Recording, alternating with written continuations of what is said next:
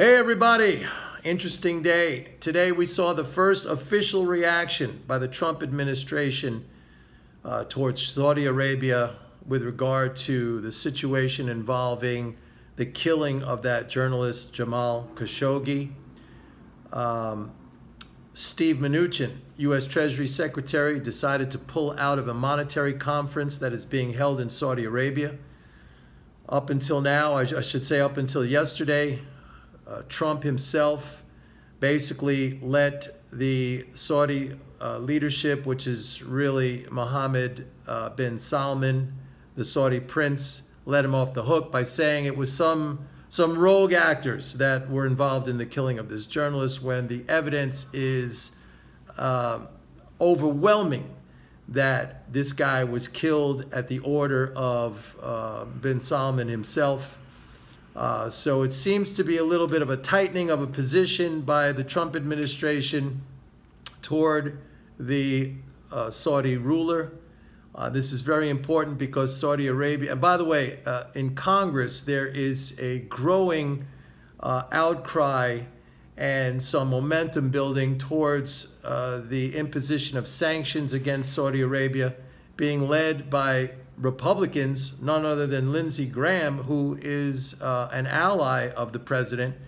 So the president is under pressure now to maybe not formally accuse bin Salman, but to show some sort of um, dissatisfaction and not just completely let this guy off the hook by making obviously ridiculous statements that this was carried out by, oh, some rogue people that just happened to get in there and it was an interrogation that was botched. I mean, that is ludicrous. It's ridiculous. Everybody knows that is completely ridiculous. Now, the Saudis have threatened retaliation if there is any sort of sanctions applied on them. And there's a lot that they can do. For example, uh, they've been talking about um, oil and oil prices. All right, so the Saudis as basically monopolists in the uh, the oil pricing globally can restrict output at a time when prices are already high. And they know this. And there's talk about them, or they have mentioned, uh, pushing prices way up if there is any sort of punitive action levied against them. So that's something to keep an eye on because this is, as I said, the first time today that we have seen some official response. It's still a tepid response uh, however, but it is moving away from just a blanket, um, you know, uh, letting these guys off the hook, as had been the case up until yesterday. That's number one. So, oil prices are down today. They're down on the uh, sell off in the stock market and general pressure on commodities. By the way, gold is holding on to some slim gains. Let's talk about what's happening with the dollar. And by the way, all you people posting up, hey, how's your dollar? How's your dollar? My dollar position is fine. The dollar handle, in case you haven't looked, the dollar index handle is still 95. Still 95. We've been 95 handle since June. It goes up a little bit, it goes down a little bit. Still 95. I don't know what everybody's making such a big fuss about. The dollar handle is still 95. Talk to me when it's 98. Talk to me when it's 104, when basically I was selling up there. Talk to me then. It's 95. It's been 95, that dollar index handle since June. So I don't know what everybody's carrying on about. Nothing's happened. However, I will say this. The focus is really shifting now, and the focus is really shifting to uh, the Chinese yuan and that's because basically China has drawn a line in the sand at uh, the uh, dollar yuan exchange rate of seven. And this is the problem with pegged currencies. Pegged currencies are susceptible to speculative attack. Currencies that float are not susceptible to speculative attack because they just float to some new equilibrium level and then everything gets adjusted. But uh, China has drawn a line in the sand at the uh, dollar yuan exchange rate of seven. We've been up to 695, marginally above 695, uh, I guess it was last week, came back down. We're back up to 695 again today. China has the ability to defend that level for a long time. It's got a lot of dollar reserves. Uh, whether or not it chooses to do that, I have no idea. I am not on the inside in terms of making policy over there. Uh, I will say this I, I would imagine that China would be concerned about the reaction from Trump if it allows the dollar yuan exchange rate to rise above seven because Trump has uh, been increasingly sort of belligerent against China in terms of uh, calling it a currency manipulator. Uh, so I think China is sensitive to that, and I think it will continue to defend that rate. Uh, but I don't know. The point is, I don't know. And this line in the sand is affecting the dollar. There's a spillover effect into the U.S. dollar. You have this this uh, flight to safety going on. Okay. But again, dollar index 95. Keep that in mind. With everything that is going on, everything that is going on, all right, with the China thing that's going on, with the interest rate, eight interest rate hikes, and the Fed coming out daily, every single day now saying we're still going to raise interest rates. We're going to keep on raising interest rates. In fact, we're going to raise them even beyond the neutral level because, you know, we just got to be sure that we raise them enough. And the stock market is crashing, and they're still saying we're going to raise rates with everything going on, with all that going on. The dollar index is at the 95 handle. And even if it went to the 96 handle, we saw that already. We saw that back in August.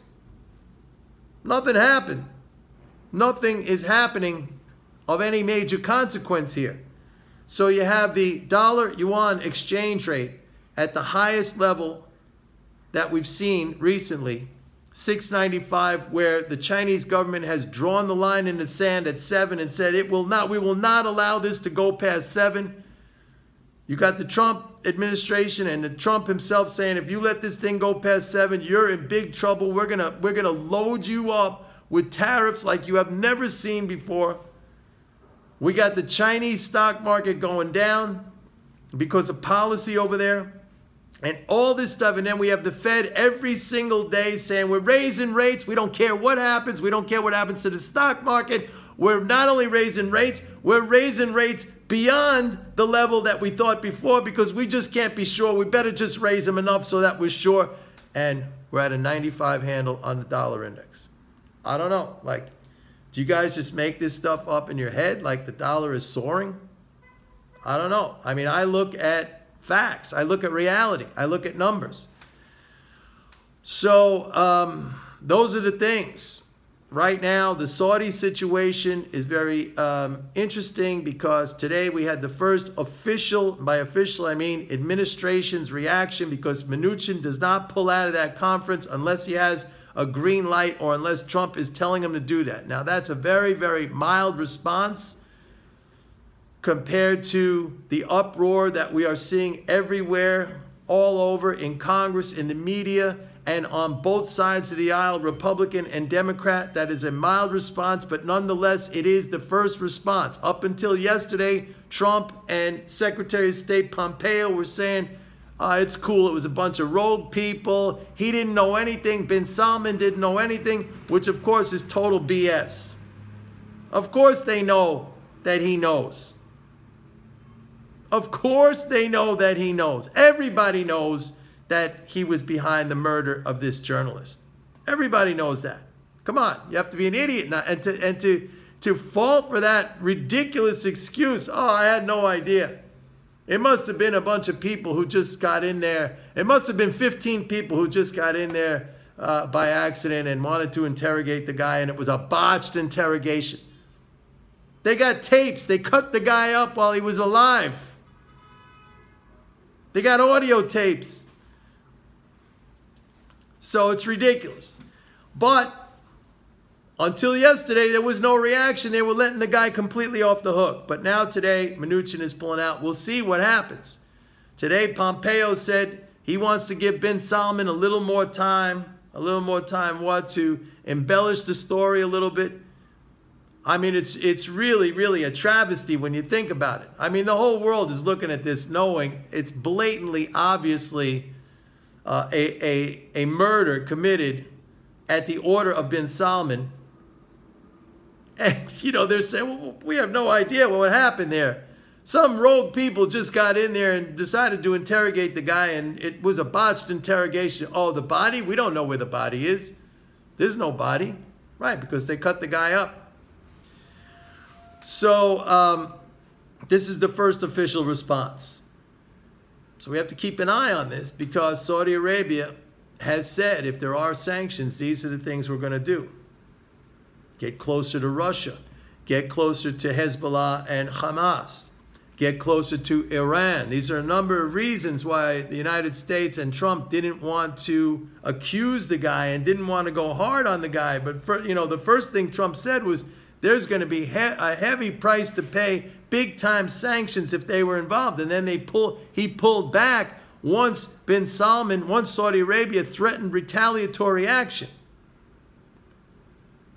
Once they threatened retaliatory action, he pulled back. So you see where his sensitivity is. He doesn't want oil prices to go up. He doesn't want Saudi Arabia to get in, get back in close with Iran. All right?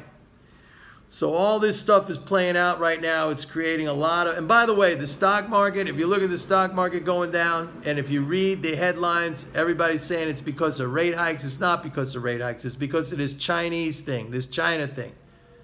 China is mismanaging their policy right now in reaction to, you know what, the tariffs, uh, th this whole um, tectonic shift in the trade relationship between the United States and China. That's a good thing for China. That's a good thing for China. But China is mismanaging this largely because of monetarists at the Bank of China, the central bank, who operate under the same flawed economic understanding as all central banks everywhere. So you got to deal with the, the, the stupidity. I've said many times that Central bankers are zombies just like the zombies here on this channel. Uh, but they have unlimited pocketbooks, so they can be a lot more dangerous. Got to keep an eye on that. Anyway, that's what's going on. Dollar index 95 handle. Talk to me when it's 98, 104, 100. We'll talk then. All right? Have a nice day. Bye.